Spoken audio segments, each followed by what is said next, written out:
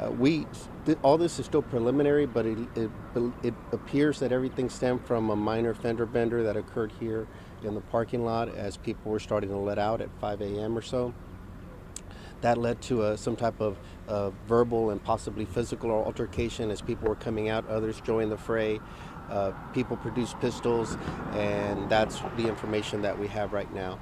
One of the males uh, that was shot, uh, possibly the one at the hospital, we believe, may have been shot by one of the security uh, guards that was here at location.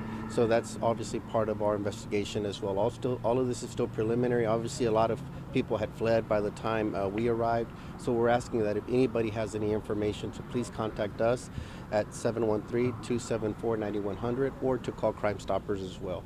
And just want to continue to warn our community members to not frequent these after hours clubs. They're, they're hubs for a lot of criminal activity.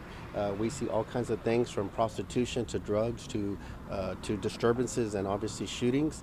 Just at this location, I'm told that approximately four years ago, there was another shooting that occurred. I know HPD just a couple days ago along the Gulf Freeway responded to an after hours club where at least two people were shot there.